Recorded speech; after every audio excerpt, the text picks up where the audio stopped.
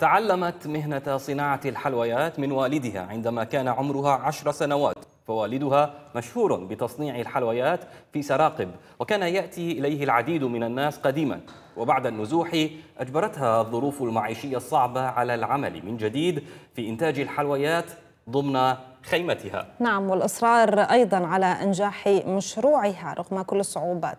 إنها حكاية أم عبدو التي تعمل مع اثنتين من بناتها داخل خيمة وهي جزء من مسكنها الحالي في صناعة الحلويات والمعجنات لتأمين لقمة عيش كريمة لها ولأسرتها. نتابع القصة معنا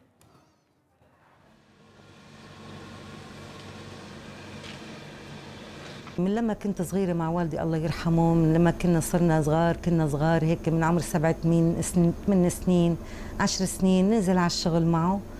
أه وتعلمنا الصبر والجلادة على العمل وعلى الصبر مع والدنا الله يرحمه. كان يشتغل هو بالحلويات والمرطبات والحلويات المقطرة.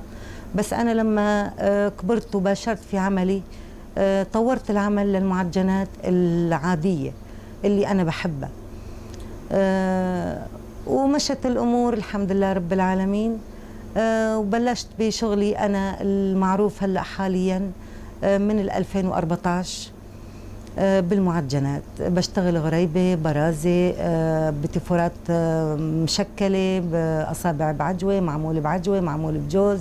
أي شيء يعني في المعجنات بقص المعجنات أنا بشتغله. وبالنسبة للعمل ما لقينا حل إلا إلا نعمل خيمة وعملنا هالخيمة اللي أنت شايفها وبنشتغل فيها رغم صعوبتها رغم حرارتها رغم بس لابد إنه الواحد ما يشتغل حتى يعيش. أه بشتغل أنا وبناتي وزوجي هو اللي بيسوق لأني ما في فائدة من الشغل أنا إذا ما في تسويق. وبنفس الوقت عانينا كثير ولسه لسه عم نعاني بالتسويق لأننا هون ماني معروف مانا معروفين. يعني قليلين الأشخاص اللي بيعرفونا أو بيعرفونا إنه نحن بنشتغل هون نحن ما لنا ضمن سوق نحن مضطرفين. أما بالنسبة لصعوبة العمل بالخيمة بنتحملها ونتحمل أي شيء ممكن إنه نحن يصير معنا مقابل إنه نعيش وما نحتاج حدا. أتمنى إني بهالنزوح واللي عانته إني أعلم كل بنت كل وحدة محتاجة. كل بنت شهيد مرت شهيد مثلا أي حدا بيحب يتعلم أنا مستعدة أعلمه.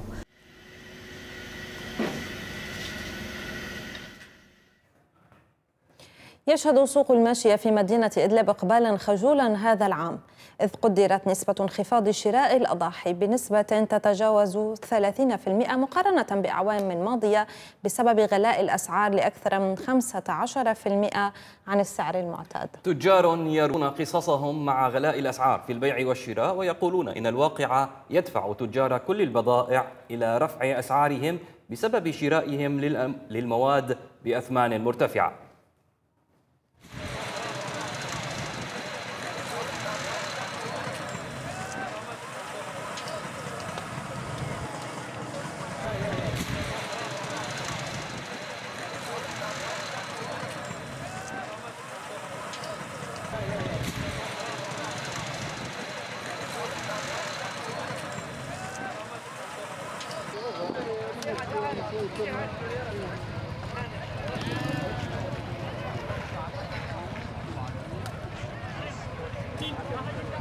والله السنة إقبال بالنسبة للضحايا مو مثل عام الأول عام الأول بالنسبة للضحايا أكثر بس.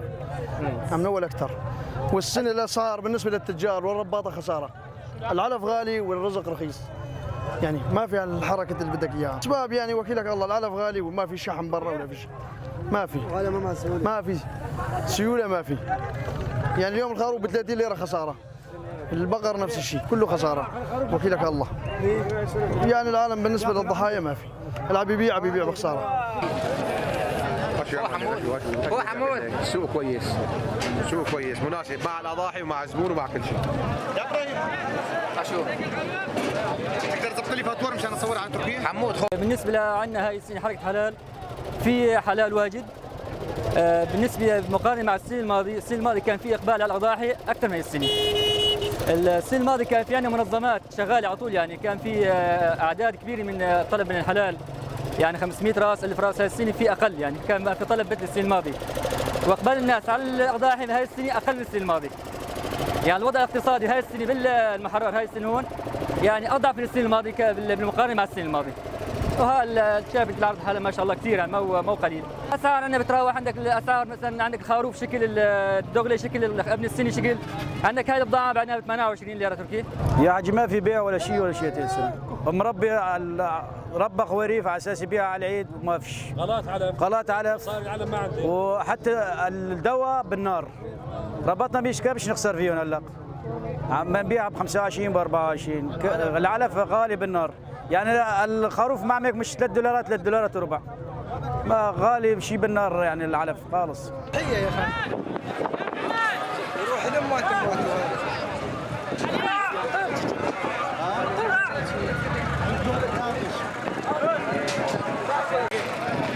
يا مدك للثلاثين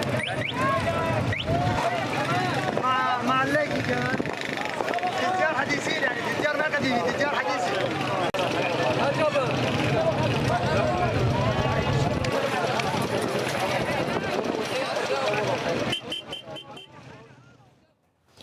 ينضم إلينا حول هذا الموضوع. إبراهيم السويد مراسلنا من مخيمات باريشة. أهلا بك إبراهيم وحمدا لله على سلامتك. وأيضا من غازي عنتاب معنا وائل عادل وأحمد القصير من طرابلس. سأبدأ معك إبراهيم يعني أنت عند المخيمات مخيمات باريشة. هل من ملامح للعيد؟ وكيف يستقبلون العيد أهالينا هناك؟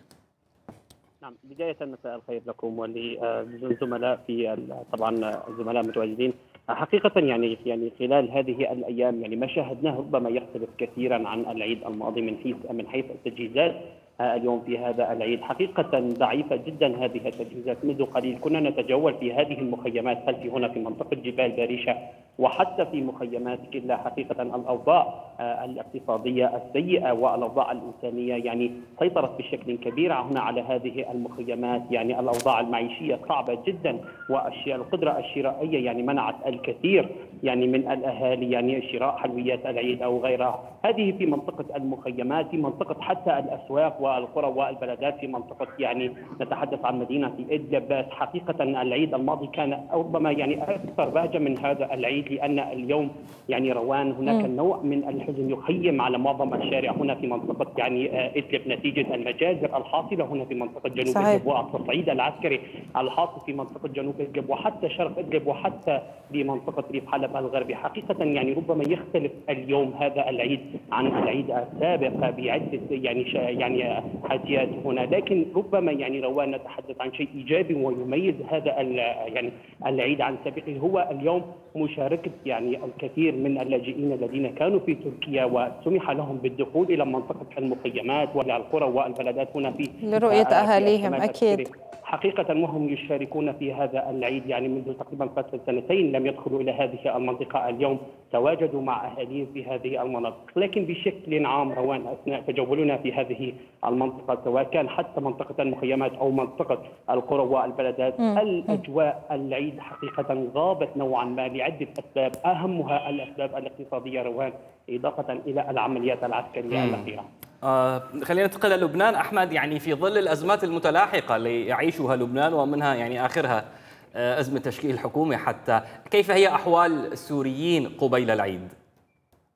مساء الخير طبعا طبعا نحن الآن في أهم ساحات منطقة أبي سمرة في طرابلس وهي ساحة الشراع حيث تعتبر هذه المنطقة هي أسواق الملابس في هذه المنطقة للأسف كما ترى خلفي لا هناك ليس هناك أي حركة نتيجة ازمه تشكيل الحكومة ما أدى إلى ارتفاع سعر الدولار حيث وصل منذ أيام إلى ما يقارب 23 ألف ليرة لبنانية والآن عاد إلى مبلغ 22 ألف ليرة و100 ليرة لبنانية. أوضاع السوريين تتأثر في أوضاع هذا البلد بشكل كبير حيث أن لا جمعيات لا أضاحي هذا العام بشكل مثل باقي الأعوام، أوضاع السوريين بشكل عام تأثر نتيجة جائحة كورونا في لبنان والإغلاقات المتتالية، أيضا تأثرت بالأوضاع الاقتصادية التي تعصف في لبنان بشكل كبير. اللاجئين السوريين هنا حالهم ليس بحال من أفضل عفوا ليس بحال أفضل من أهل البلد الجميع يعاني الجميع متازم اقتصاديا في هذه في هذه المنطقة إن كان في طرابلس أو في مخيمات اللاجئين السوريين إن كان في إرسال وباقي المناطق اللبنانية. كما تعلم اللاجئ السوري يحصل على مبلغ مبلغ 100000 ليرة لبنانية مفوضين في اللاجئين هذا المبلغ لا يكفيه يوم أو يومين فقط للاجئ ضمن هذا البلد وضمن هذه سلسلة الارتفاعات وفقدان البضائع من السوق وغلاء المحروقات في لبنان. صحيح. آه وائل هل الحال ربما أفضل يعني في غازي بالنسبة للسوريين وكيف يستقبلون العيد اليوم؟ مساء الخير روان محمد والسادة المشاهدين. يعني بغض النظر عن فك الحظر الذي جرى منذ 18 يوما وسوء الأحوال الاقتصادية التي كانت خلال العام الماضي بسبب الحظر وضيق المعيشة. اليوم الأسواق مزدحمة بالسوريين أو الأتراك على حد سواء الأسواق مزدحمة وكأنها أيام العيد في سوريا. العديد من السوريين يتبضعون للعيد كل على حسب قدرته المادية. الأضاحي بدأ السوريون أيضا يبتاعون الأضاحي ويبيعونها العديد من التجار السوريين تجار المواشي يبتاعون يعني موجودون في أماكن بيع الأضاحي. أيضا يتبضع السوريون الأضاحي ملابس العيد الجديدة الحلويات. يعني أجواء العيد أفضل من العيد الماضي بمرات كثيرة بسبب الحظر الذي كان موجود في الأعياد السابقة. اليوم هناك بهجة بشكل عام يعني في الأسواق في حتى الشوارع التي من خلال جولات التي جولتنا اليوم كان هناك العديد من السوريين يعني سعيدين حتى بفك الحظر. اعتبروا بأن فك الحظر الذي طال أمده هو عيد بالنسبة طبعا. لهم. وبحسب حالهم حالتهم الاقتصادية يتبضعون ويشترون ويحاولون أن أن يأتوا بأبسط الأشياء ليتماهوا مع العيد وبهجه العيد. نعم. طيب إبراهيم ذكرت قبل شوي إنه في سوريين دخلوا مشان إجازة العيد يقضوها بسوريا لكن في البعض كان يعاني إنه ما عم بيقدر يعني بسبب الضغط الضغط مو على الواقع وأيضا على الموقع حتى الحجز وحتى صار في سماسرة بيقولوا نحن بناخذ مصاري وبنحجز لكم هل لديك تفاصيل كيف هي حركة دخول السوريين في إجازة العيد؟ نعم. بالنسبة لرابط الحجز هنا عبر معبر باب الهواء الحدودي القريب مع تركيا خلفي هنا قرابة يعني حوالي 7 كيلو متر يتواجد معبر باب الهواء الحدودي مع تركيا. حقيقة يعني دخول السوريين كانت لا تزال يعني يعني متواجدة هنا في هذا المعبر. لكن رابط الحجز كان قد توقف يعني فتح عدة مرات لساعات قليلة جدا. يعني اليوم الآلاف من السوريين كانوا يحاولون يعني التسجيل عبر هذا الرابط للدخول إلى هنا طبعا إلى منطقة إدلب. لكن حقيقة لم يستطيعوا الدخول حتى معبر جرابلس توقف. كل المعابر اليوم يعني وقفت الرابط هذا الدخول وهناك مناشدات من قبل يعني الأهالي هنا ومن قبل حتى المعبر. المعبر هنا إدارة معبر باب الهواء الحدودي مع تركيا كانت قد تحدثت مع الجانب التركي وقامت بطرح عدة خيارات يعني لدخول السوريين عبر معبر باب الهواء الحدودي مع تركيا لكن حتى الآن هذا الرابط هو مغلق. اليوم هناك الكثير ربما الآلاف من السوريين كانت تتوقع أن تدخل يعني أو تتوافد إلى هنا منطقة إدلب لتشارك يعني الأهالي اليوم في هذا العيد لكن حقيقة للأسف لم يستطيعوا الدخول هنا حتى الآن. حركة الدخول كانت يعني لا تسير تسير بشكل جيد لكن الرابط توقف بشكل نعم. كامل عن دخول السوريين وهناك مطالبات عديدة اليوم حقيقة بفتح هذا الرابط للعبور. طبعا وهنا يبقى سوى يوم واحد فقط يعني وهو أمر يعني صعب جدا. اليوم نتحدث ربما عن فتح هذا الرابط ربما يعني فات الاوان حقيقة بالنسبة لهذا العيد. طيب إبراهيم أخيرا سأختم معك هل كان هناك نشاطات ربما لبعض المنظمات ببعض الهدايا لأهالي المخيمات في العيد أو تقديم نعم. ولو شيء رمزي يعني؟ بالضبط روان روان منذ تقريبا حوالي أمس وحتى اليوم نحن كمراسلين هنا في الداخل السوري بدأت تأتينا دعوات من قبل يعني المنظمات العاملة هنا في الشمال السوري. هناك ثلاثة أيام ما يقارب ثلاث أيام أو حتى أربعة أيام يعني على طول أيام العيد. ستكون هناك كرنفالات احتفالات في منطقة المخيمات. تحديدا تحديدا نتحدث هنا عن هذه المنطقة الخلفية. ستكون هناك يعني نشاطات عديدة للأطفال. طبعا الهدف الأساسي بحسب يعني بحسب هذه المنظمات هو إخراج يعني اليوم الأطفال من أجواء يعني هنا المعاناة وأجواء الخيام وغيرها وإدخالهم في يعني جو التنافس جو الفرحة هنا في هذه المنطقة. ستكون هناك أيضا يعني آه بعد المنظمات ستقوم بتوزيع أضاحي العيد لكن حقيقة وهنا أمر يعني ربما أنوه له يعني موضوع الأضاحي كان هذا العام ضعيفا جدا مقارنة مع يعني العام الماضي بسبب الأسعار أكيد. الكبرى.